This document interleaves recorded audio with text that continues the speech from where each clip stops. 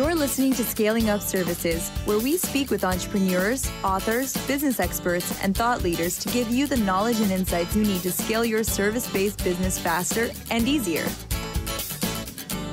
And now, here is your host, business coach Bruce Eckfeldt.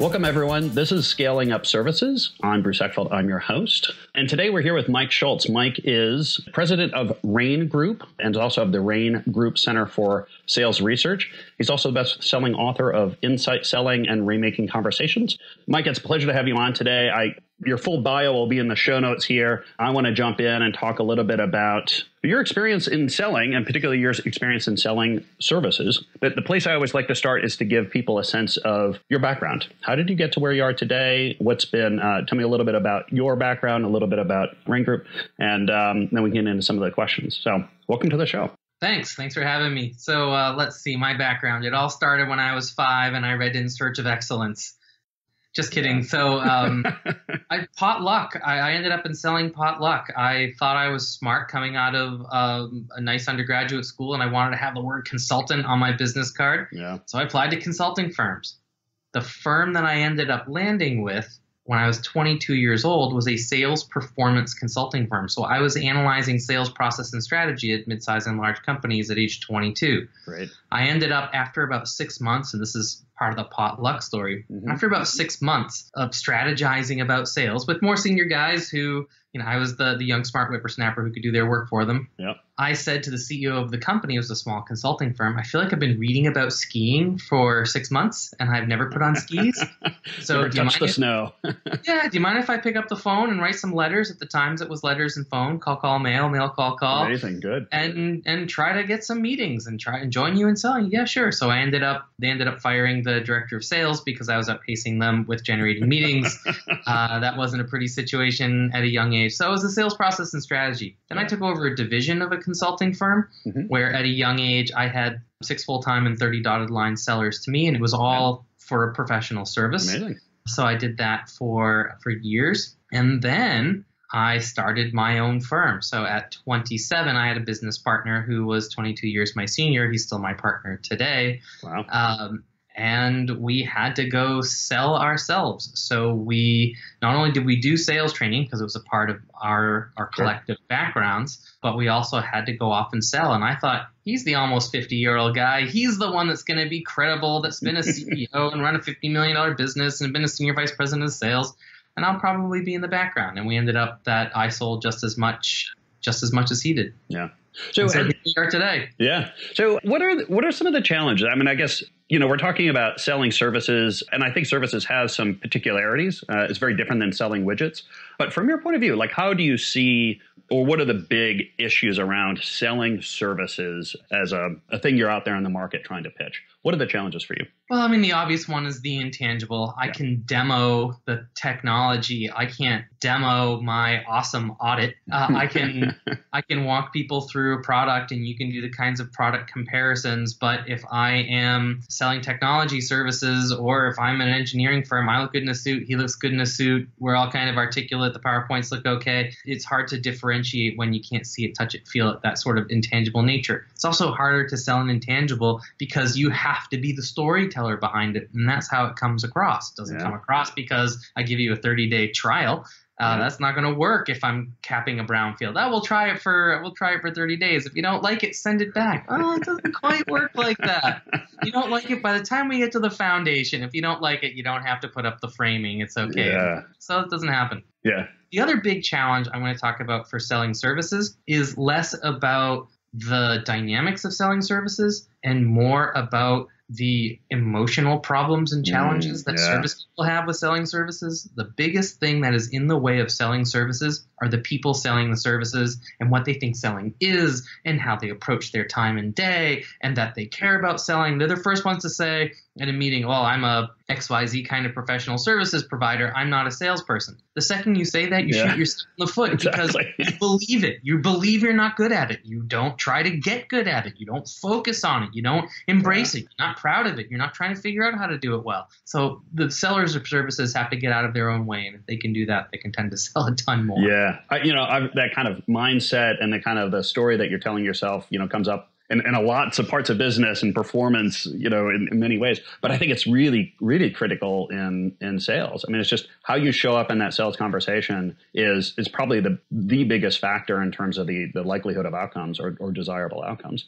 What so what are the um, what are the typical uh, I guess mindsets that you see people kind of starting with that are not so positive or, or tell me about sort of the, the, the, starting point that you typically see and then where do you work with people to kind of move them away from that the first one's probably i don't like selling mm. i don't want to sell i'm not good at it i can't position myself i can sell something else yeah. but selling myself it's just it's just all, all the emotional stuff yeah. and then it's the i'm too busy to sell i have clients I have other other priorities. Well, you can focus on your other priorities, and if you're happy making what you make and doing what you do, and it's good enough to not sell to stay steady, then have a blast. But if you want to scale up your service business, yeah. you're you're going to do that through selling. Uh, when when we started our business, much like you, we focused exclusively on service businesses. Mm-hmm. So we were marketing and sales consultants for service businesses and we would do and we, we were tactic neutral as in we weren't selling okay. pr yeah. if you buy growth from a pr firm the answer is pr and if you buy yeah. it from seo it's seo yeah. so we were tactic neutral and we would come up and do the analysis and we would say like you can work on your website here you can work on your your, your messaging here you can work on these kinds of events here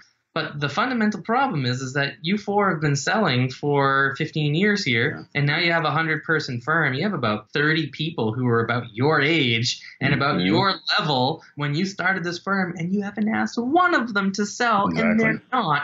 And if you could literally just get 10 of them to sell a quarter of what you do, you will double the size yeah. of the firm. Yeah. So the, the the lever to pull was typically through the people and they had reared them in such a way that selling was a bad word and you don't want to do it. They never taught them, and now they're 47 years old and they haven't even tried it. Yeah. So, yeah, so, it, that situation is so common, uh, you know, and it, and it, really is a ceiling, I think, ultimately for a lot of services companies where, you know, the, the, growth of the company ends up being constrained or constricted by the ability of that senior person or that senior team to sell. And they really haven't created any kind of system and any kind of process of actually mm-hmm. creating more salespeople, not just selling strategy and selling process, but actually training people to actually sell. Yeah, and at a service firm, sometimes it's the salesperson, there's a, a BD person, but it's usually through the strength of the professionals themselves and what they do.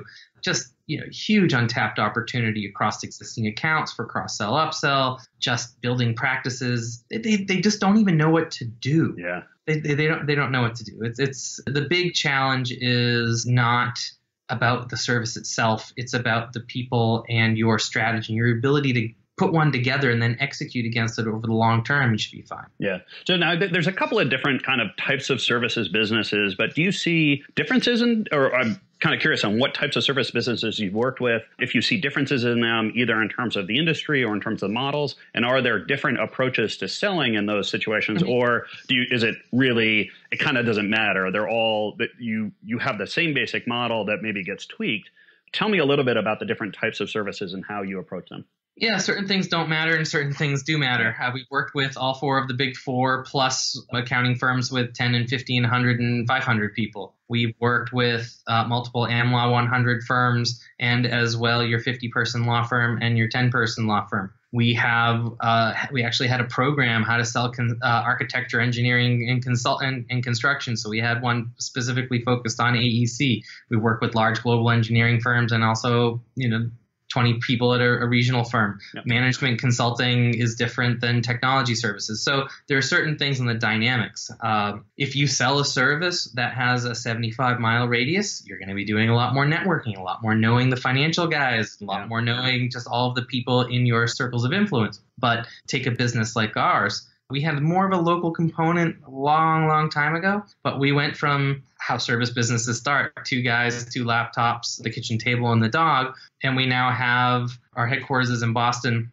and we have offices in Geneva, London, Mumbai, Sydney, Johannesburg, Toronto, and Bogota. So I don't need to go to a local networking event because our calls come from major cities and it's not just I need to know people. So do you market locally? Do you market more nationally or globally? So there are certain nuances there. The things that actually are the same are to ask the question, what do we need to do to activate the people here for selling? You have to ask that question. Same question. The nuances might be different. Yeah. And a lot of the dynamics are, that we talked about before are the same. I don't want to sell, and I'm not good at it, and a few people are naturals, and some are never going to do it. But there's a bell curve in the middle that can. Other things that are are similar is how to lead a great sales conversation. Yeah. Those dynamics don't really change that much across industries. How to grow your accounts. Ah, we are a diversified management consulting firm and we bought other firms and we have services across five different areas and they only buy this from us. Mm. We worked with one of the largest yeah. recruiting firms. They had bought a large leadership firm, they had bought a psychographic assessments company, they bought a couple yeah. of other firms, but they all sold their own things. Yeah. Asking the question and approaching how do we grow our accounts is the same question. The individual strategies for accounts are going to be different. The questions are, are the questions are the same. So the frame, kind of the framework is the same, and as you apply it to the different situations, is where you have to kind of make the adjustments and the tweaks to to how you actually do it. Yeah, let me give you an example. Yeah, so that'd be great. most services firms, when they come to us, let's just pick accounting. We're okay doing tax and audit, uh, but we have consulting services that nobody brings up. We have we have technology services that nobody brings up. We have risk management that nobody brings up. Selling these what they would call value add services. Mm. Oh, huge untapped opportunity that people want to tap. And certain things just kind of come in and are repeat business. Well, it's the same kind of dynamic to be able to get them to go from reactive to proactive, yep. to get them to understand that it's not just about if, if somebody calls and says, let's say you called me and I'm an accountant, and yep. you said, we're looking to switch accounting firms, and I have you come into the office. My first question should be, what brings you in? What are you trying to sort out? Yeah. What's going on with your accounting that you're not getting that you should yeah. be getting? So I'm, I'm asking those questions and doing the needs discovery. Then I can go a certain amount deeper. But let's say I'm selling something proactive. We can walk into companies, and if we have a company that we can analyze that's over $100 million in this industry, we can usually save them $3 million in their bottom line, and we actually share blah, blah, blah. And I want to set up a meeting to talk to you about our cost reduction services that have, you know, had such explosive results in other places. Yeah. If I walk in and say, so what brings you in and what's what are your needs in this area? They're going to say i don't know. You set up this yeah, meeting. Exactly. what is it that you have to pay yeah. it's just a very different dynamic. That's kind of the inbound outbound lead like yeah, yeah. or yeah. even just react, reactive to proactive for sure. And they only understand the reactive and they start shaking in their boots when they have to actually start and yeah i'll use the word pitching something. Yeah. you still have to listen you still have to ask questions but the dynamic of how you actually run that discussion it's just a different flow. Yeah and they don't know how to do that. Yeah, well, I think it goes back to the, the mindset stuff too. It's like I can, I can, if someone's coming to me with a problem, I can help them solve it, but I can't actually go out and identify problems mm-hmm. that are out there, or even help people understand the problems they may not even see and figure out how to sell against those. Those are those are very different approaches. For sure. So how? Um, so give me some, give me some tools, or give me some sense of framework. So how how do you advise, or how do you help people with with those conversations, with that process? What are some of the key kind of structural elements, milestones in the conversation? How do you how do you approach that? Mm-hmm. Well, the first part, if we're talking about service businesses, the the kind of work that that you do is absolutely essential, and we do similar kinds of things to help them understand what is my growth strategy do I want to do this? And can I look at with open eyes what needs to happen to get there? And we, we have worked with service businesses to do analysis on their growth. And we said, you're growing at 6%. You could definitely grow double digits. You could grow 20% of the year. If you just did these things, activated this, and you have this great company that you bought or the service that you have that literally just, if more people brought it up and brought it out, you'd have a lot of growth. And it's going to require doing things like this We've had some companies grab that and run with it and double the size of their service businesses. And we've had others that say, like, yeah, yeah, yeah, we want to do it. And we're like, ah, it doesn't sound like you really want to do it. Are you willing to change? Yeah. You know, so it's the um, how many psychologists does it take to change a light bulb? You know this one? one, but the light bulb has to really want to change. the light bulb has to want to change. So it's all this mental stuff. But then you have to set up the structure. The structure. Yeah. Uh, so at Rain Group in 2011, we're a mm-hmm. service business, and we actually made a decision. Are we going to go for scale or are we going to keep it small, have nice lives, collect the extra cash, and go 10 or 20 years yeah. and just have our little business? And yeah. we decided to have scale. And we set up a five year plan. We locked off two thirds of our services. We started investing, angel investing our own money. Now we're at the tune of about four or five million dollars invested in certain technologies, platforms, product, marketing, so we could actually go and have growth. And so we set up this platform so we can, you know, we can shoot up like this. Because if we didn't do that in our industry, then we wouldn't be taking advantage of the, the structural changes in the industry and how everything was moving. If we just said, yeah, let's just pick up the phone more, yeah, we, there's certain things you need to do to actually be more competitive. Yeah, I think and you're hitting for me. You're hitting the kind of the nail on the head in terms of these questions. The, the two the two that I find really critical at the beginning of an engagement or at the beginning of speaking with someone. One is yeah, as, as that question, do you really want to grow? I mean, what the, the, is the growth outcome desirable to you, you know, personally and as a company? Because I think a lot of times, you know, people kind of get caught up in, yeah, I want to grow, I want to get big. But when you actually start looking at, okay, well, that's what this is going to look like. You're going to have this many people. You're going to be operating these kind of services. You're going to be have this kind of scale. You know, do you really want that? Is is a question that you really need to kind of sit on and answer you know really definitively before you engage it. And then the question is is well now are you willing to do what needs to be done to get there? Mm-hmm. and sometimes they want the outcome but you know the decision like you said you know you had to make some tough decisions about lopping off services tough decisions about taking on investment getting that capital to fuel the growth. And those aren't easy. Um, and and sometimes as much as you want the outcome people are not willing to do the work. But if you can get those two pieces at least mm-hmm. we've got a fighting chance to to do that. And i think that's really key to ask those yeah, so bringing that down from once you answer those questions, the sales tactical kinds yeah. of things, it's asking who here can sell, who here will sell, where's the untapped opportunity to activate people's you know potential for growth in selling that I, I don't even know where that is. Yeah. Then you have to ask yourself, what are the areas that if I pulled the levers would actually help us grow more? Mm-hmm. Do we need to pull in more new logos? So I'm going to need some kind of prospecting or you know, whether it's mm-hmm. uh, you know, and then that's very different local than say national and international. I'll leave off all the marketing stuff and the operations stuff, but just just from a selling perspective, yes. well, maybe it's our accounts. Do we have opportunity to grow in our accounts? Well, how do we do that, and how do we take proactive action to grow them?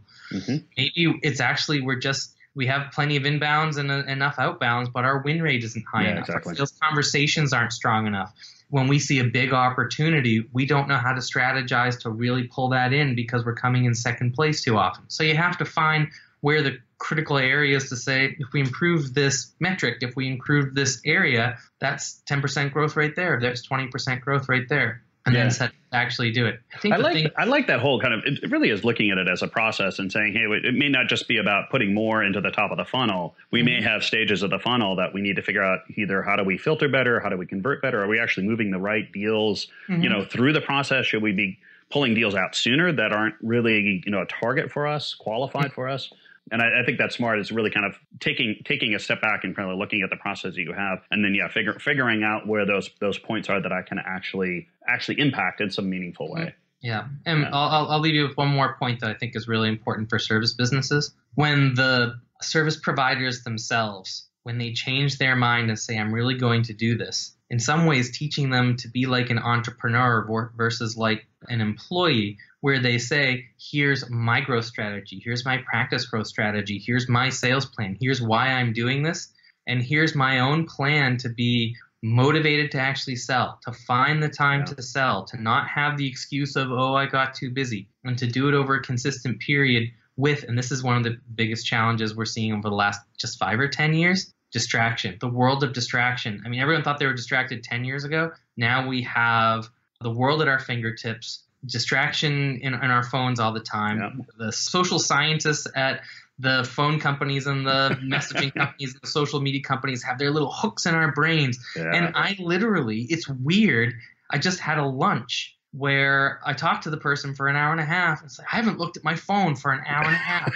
and we didn't have that. People's ability to tune out distractions and their ability to concentrate and get in the yeah. zone is way off. And this is absolutely necessary to succeed at selling. So we have a client where the skills we'd worked on and that wasn't the issue they weren't doing it so we came back and we said let's do our extreme sales productivity challenge yeah and we put them through the program to figure out how to what was most important what were they going to do how are they going to find this time and then we gave put in accountability systems over 90 days and it was massive. It was like a 16 times return. Yeah. We did it. With a, we did it with a, a, telecom company where it wasn't a service company, but we put several hundred people through it. It generated a hundred million dollars in pipeline. It wasn't even a skill program. So yeah, no, I, it, and it's funny. I laugh. the ability to be productive and to change when people go from this reactive to proactive, they need new tools now to be able to do it. Yeah, yeah. And it's, it's the, the, whole um, productivity. Like, how do you really assess all the things that you're doing on a day to day, week to week basis, and tease out from there the things that are are really high, highly productive and those things that are not? And oftentimes, that's not an obvious analysis.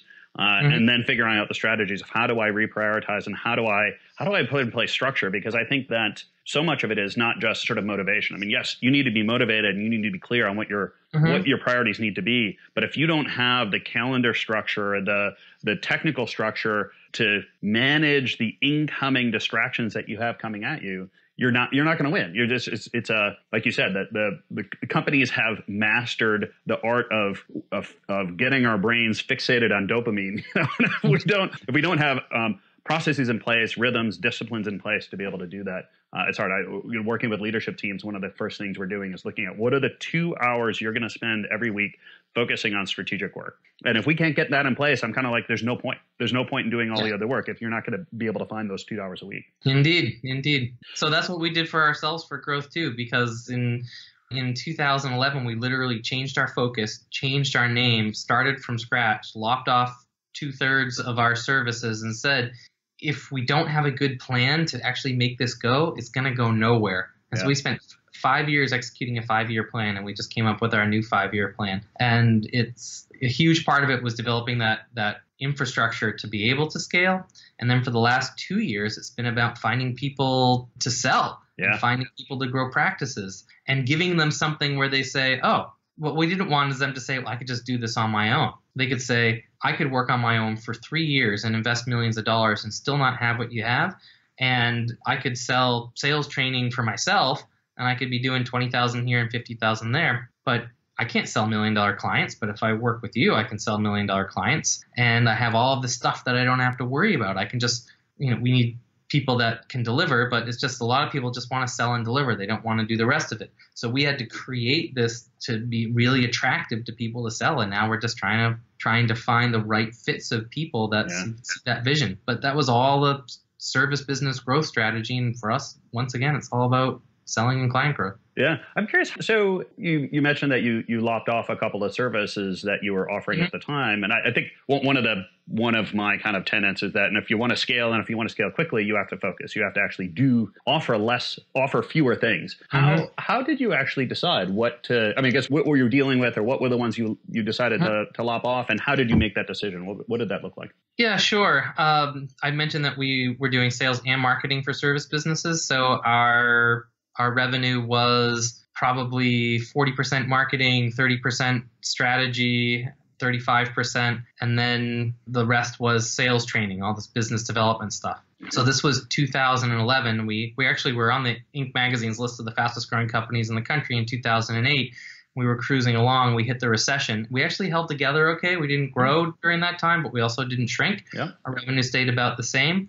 And then around 2010, we said, all right, it's time to go from playing defense to playing offense. And we said, how do we double our business in size and double it again? Mm-hmm. And we said, can we be great at all three of these things? No. And also, is our market big enough to sustain a larger business? And we said, well, I don't necessarily think so. We might want to leave just focusing on service businesses because yeah. we wanted a globally scaled company. So we said, what are we really great at?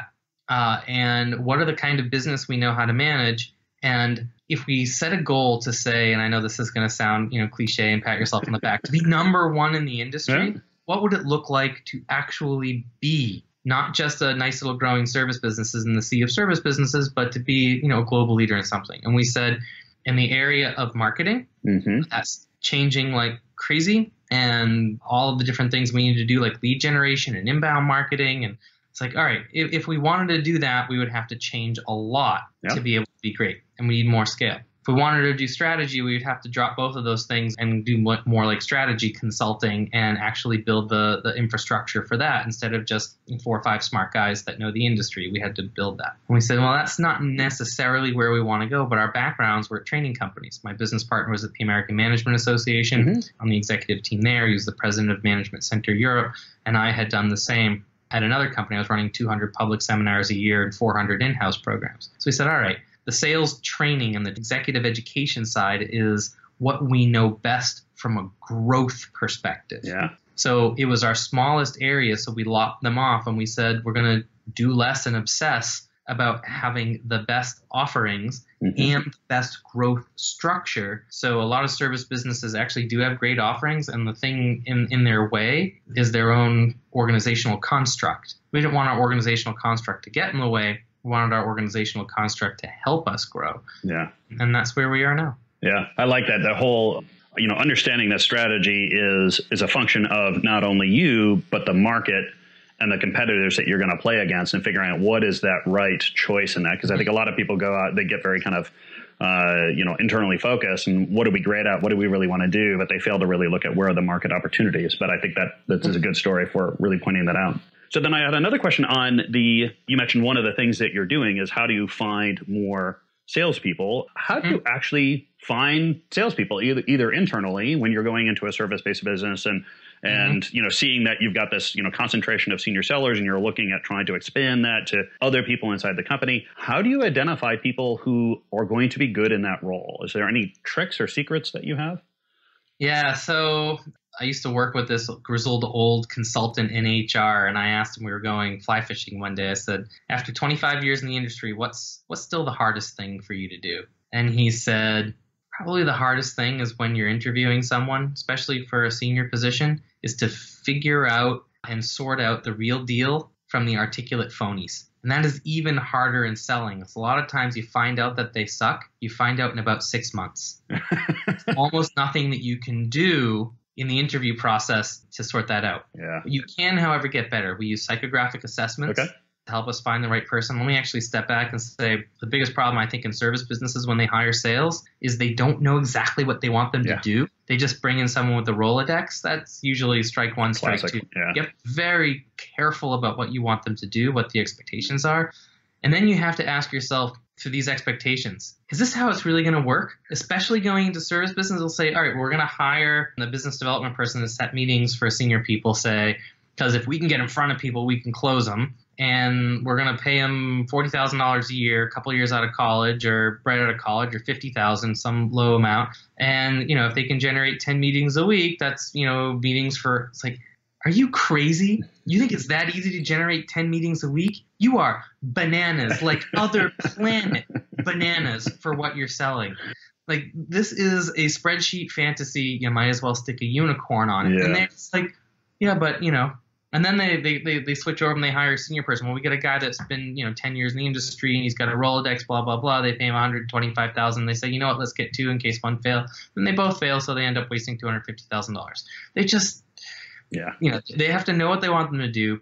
Um, they're not rigorous enough in the interview process. They don't do things like really digging in mm-hmm. and, and digging in. They just get happy years because they see dollar signs. They think it's going to be easy. It's yeah. not the hardest thing you're going to end up doing. Yeah, I always find that. I mean, interviewing is tough anyway. I mean, again, hiring anybody, it's it's easy. It's easy to see what you want to see. It's tough to ask tough questions, but I think sales is even more so. Just because you're dealing, typically you're dealing with people who can be per, very persuasive, and, and, ironically, just because they can be very good at selling you an interview doesn't mean they're going to be really good at selling your products and services. So yeah, a lot of them uh, aren't. Yeah, yeah. So I would love to kind of hear it. So if, if someone wants to find out more information about you, about the book, about services What's the best way to get a hold of you, or what are some resources that they can they can use to learn some of that?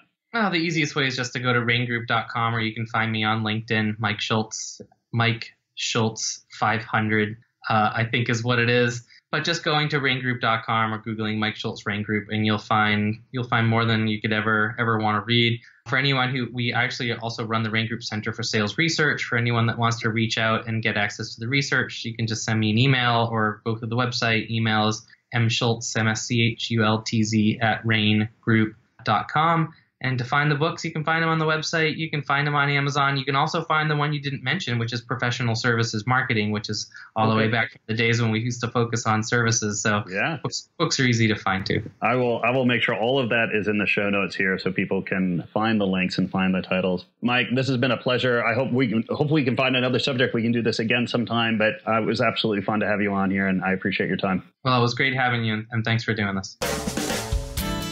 You've been listening to Scaling Up Services with business coach Bruce Eckfeldt. To find a full list of podcast episodes, download the tools and worksheets, and access other great content, Visit the website at scalingupservices.com. And don't forget to sign up for the free newsletter at scalingupservices.com slash newsletter.